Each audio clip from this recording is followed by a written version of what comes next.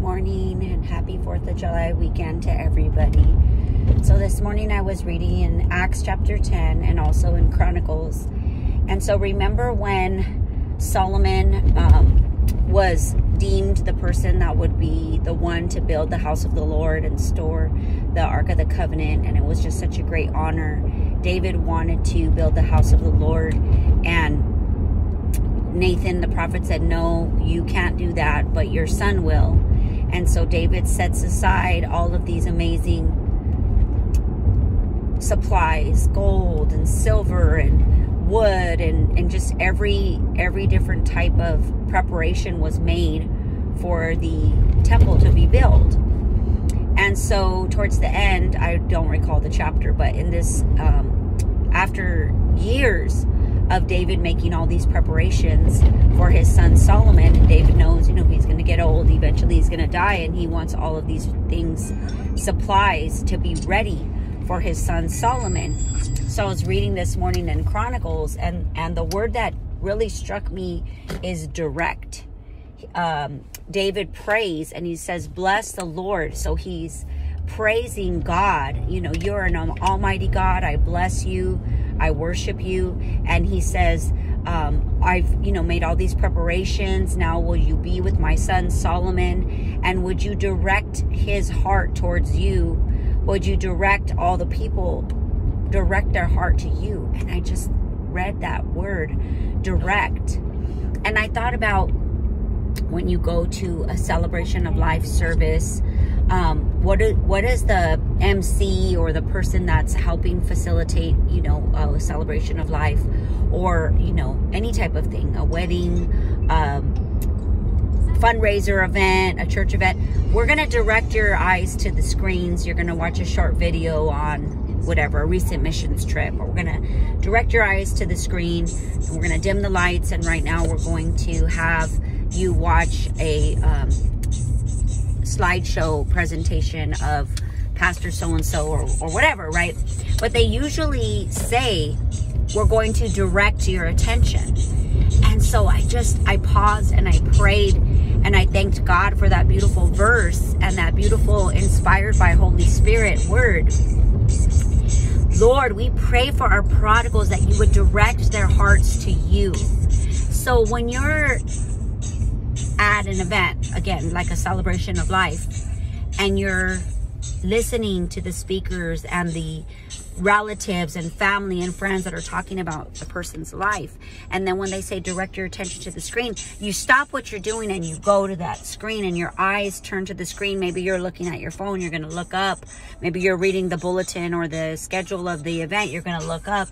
You know, it's fireworks weekend. People are going to be looking up to fireworks. You direct your eyes. And so I said, Lord, we pray in the name of Jesus that you would direct hearts back to you. I just, it just really stirred me that it's a beautiful thing to pray.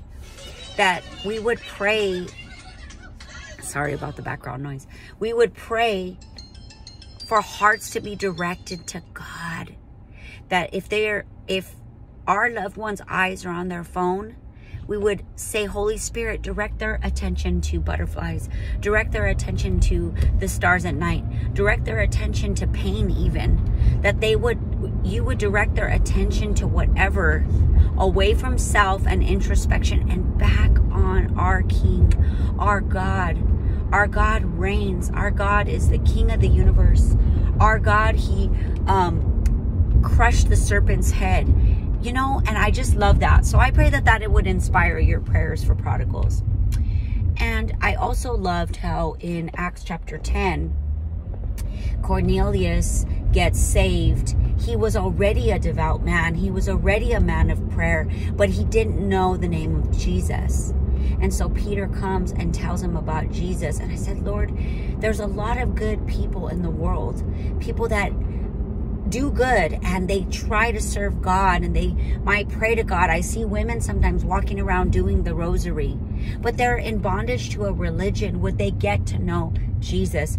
My sweet daughter, Olivia, her best friend when she was growing up and still a very dear best friend, Jocelyn, her family's all Mormon. And so I would always say, Lord, um, help her know you, Jesus.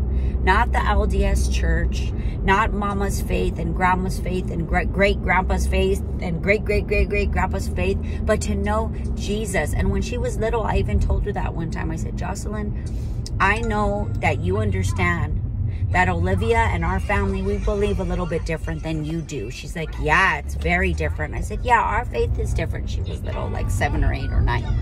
I said, but it's always the most important thing, no matter what. Jesus. Focus on Jesus more than anything. And so Cornelius didn't know Jesus. He knew Yahweh. He was trying to know Yahweh. And the Bible says he was a devout man. God saw, he's El Roi, he sees everything.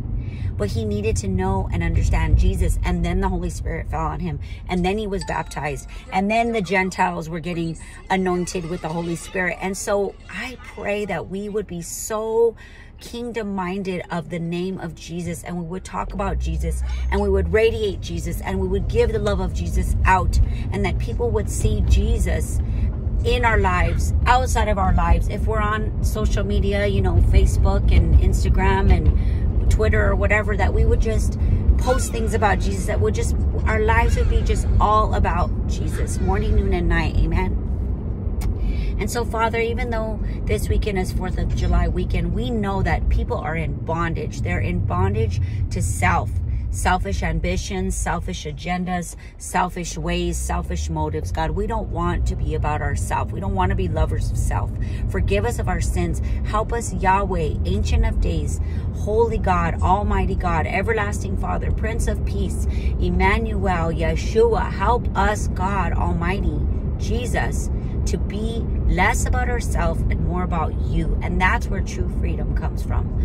Paul was in bondage in chains. He went through so much physical pain, emotional pain. But yet he was the most freest man because he knew you, Jesus. And he knew that you were going to keep him and that you who began a good work in Paul the Apostle, you were faithful to complete it. And that is true of us. That is true of our family members. That is true of our prodigals that we pray for morning, noon, and night. So we just pray that you would help us to be mindful of that, God, that where the Spirit of the Lord is, there is freedom. So, Holy Spirit, baptize us afresh today. Give us eyes to see and ears to hear what your Spirit is saying to us. We pray for the church. We pray for the underground church, for the persecuted church. We pray for those in Texas, Uvalde, Texas. Thank you for Glenda and her fellowship outreach over there to all of these family members that are grieving, that are mourning the loss of babies and these beautiful teachers, God. Lord, we need you in these last days. We worship you. We pray for prodigals to be saved.